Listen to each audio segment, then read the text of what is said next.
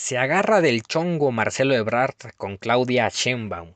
Empiezan las peleas internas en la cuarta transformación. La cuarta transformación se empieza a desmoronar. Y todo por el hueso. Todo por la silla presidencial que estará en juego el próximo año 2024. Recordemos que en ese año se llevarán a cabo las elecciones presidenciales y se sabrá quién sucederá al presidente López Obrador. Y por lo tanto, por lo mientras, el periódico New York Times publicó y juzgó a Marcelo Ebrard como el gran culpable del desplome de la línea 12 del metro de la Ciudad de México.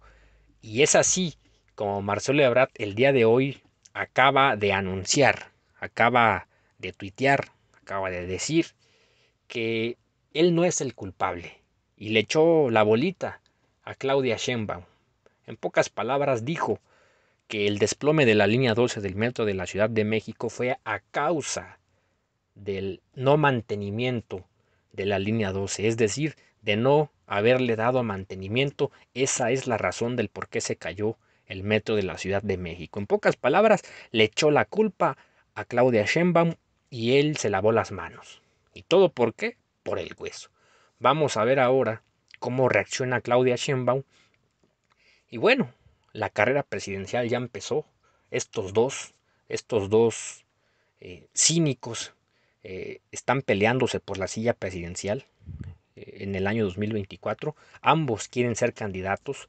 Ambos están lamiéndole los zapatos a López Obrador para que sean considerados en esa baraja de candidatos.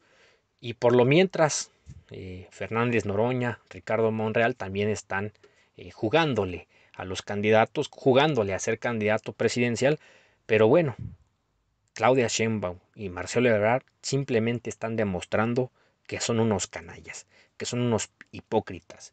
En lugar de que estén preocupándose por las familias, por las 26 familias que sufrieron esta lamentable tragedia, están peleándose entre ellos mismos por saber quién será el próximo candidato presidencial.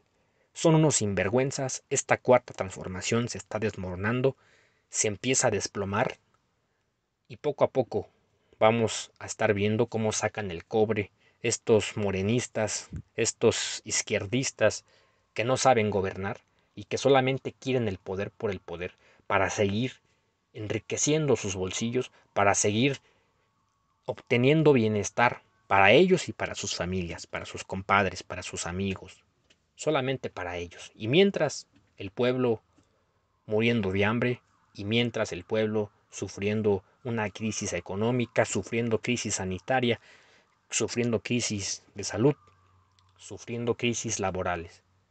Esta cuarta transformación es un desastre